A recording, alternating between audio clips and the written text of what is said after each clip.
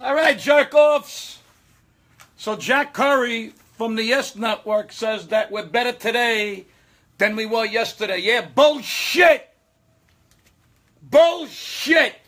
Montgomery, you suck. Another series we lost. Another fucking series. Slowly sinking into the abyss. You pathetic fucking losers.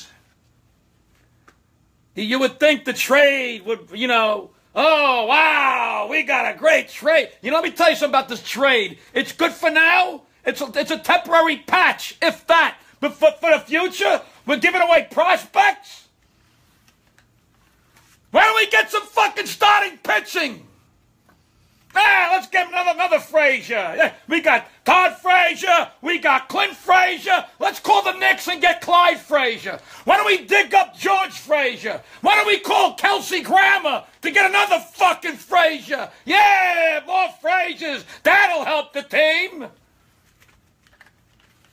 Mind-boggling. Instead of worrying about starting pitching, what, what, what, the what are we doing? What the fuck's going on in that front office? It's like the blind leading the fucking blind. Another series we dropped.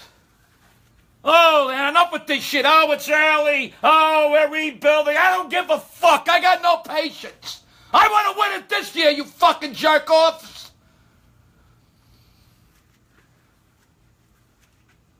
Starting pitching, no offense tonight, nothing. Lethargic. Pathetic. Embarrassing. Wake the fuck up. You want what? Don't waste my fucking time.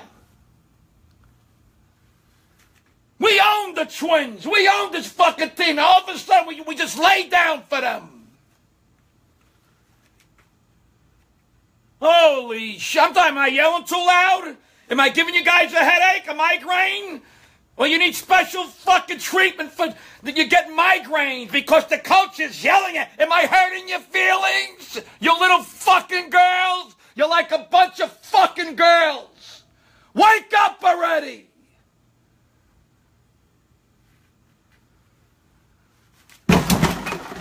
Jesus Christ almighty.